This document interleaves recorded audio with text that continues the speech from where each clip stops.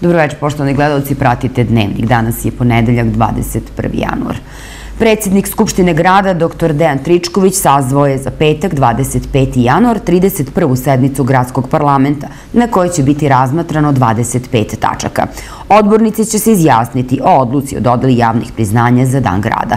Na dnevnom redu su i predlog odluke o lokalnim komunalnim taksama, predlog odluke o mreži javnih osnovnih škola na teritoriji grada Vranja, predlog odluke o pribavljanju i raspolaganju stanovima u javnoj svojini grada Vranja, predlog odluke o programu uređivanja građevinskog zemljišta za ovu godinu i predlog odluke o zaduživanju grada Vranja za 2019. Sednica počinje u 10 sati. Vranje će 31. januara, dan grada i 141. godišnicu oslobođenja od Turaka obeležiti prigodnim programom koji je usvojen na sednici organizacijonog odbora kojim je predsedavao gradonačelnik dr. Slobodan Milenković.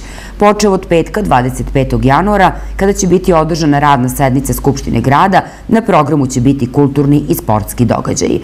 Planirano je otvaranje odeljenja javne biblioteke Bora Stanković u Vranjskoj banji. Kruna obeležavanja biće svečana akademija na kojoj će zaslužnim pojedincima i kolektivima biti uručena najviša gradska priznanja 31. januar. Po tradiciji biće održan i koncert, a ove godine nastupit će Lexington Band.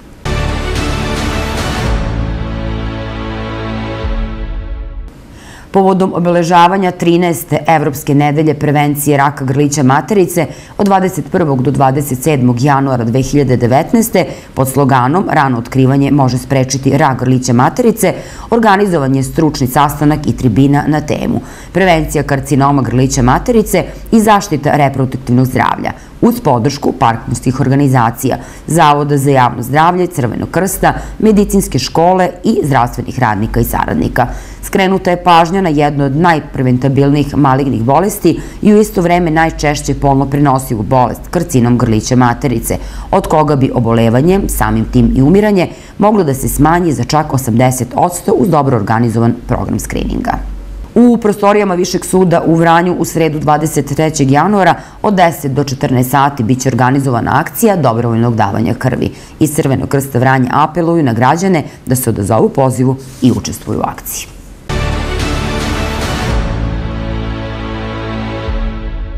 Zakriveno oružje za koje se veruje da je pripadalo albanskim teroristima i da je bilo namenjeno novim napadima, nađeno je zakopano u podrumu u opštini Preševo. Oružje je otkriveno u selu Depce, gde se tokom oružane pobune na jugu centralne Srbije nalazilo jedno od uporišta takozvane oslobodilačke vojske Preševa, Medveđe i Bujenovca, kojim je komandovao Ređep Aliju, zvani komandant Ređa.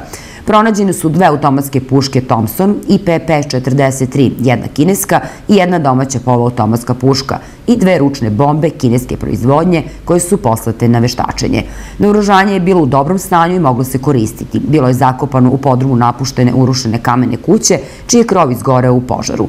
Pažnje operativaca privukla je činjenica da se ova kuća nalazi u blizini vojne baze Pečeno brdo i da pripadnici Vojske Srbije u ovoj oblasti redovno patroliraju, pa se sumnja da je postojala namera da naši vojnici budu meta napada.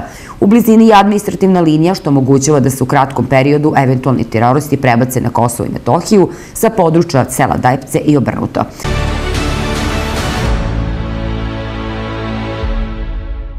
Jedna osoba lakše je povređena u saobraćajnoj nezgodi na području policijske uprave u Vranju u vreme vikenda od 18. do 20. januara ove godine. Zbog upravljanja vozilom pod dejstvom alkohola zadržana je jedna osoba. Registrovana su i tri prekrša iz oblasti zakona o javnom redu i miru. Reč je o izazivanju tuče, nepristojnom drskom i bezobzirnom ponašanju i vršenju nasilja. Tradicionalna prosvetno-kulturna i duhovna manifestacija Svetosavska nedelja otvorena je večeras u Galeriji Narodnog muzeja.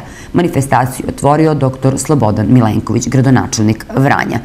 Svetosavska nedelja organizuje se u našem gradu 29 godina.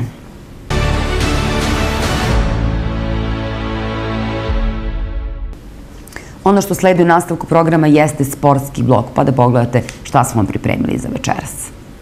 Vranjski Dinamo odigrao je prvu pripremnu utakmicu u Antali protiv futbalskog kluba Keshla i sa Vladovi šestrukog šampiona Azerbejdžana sa 2-0.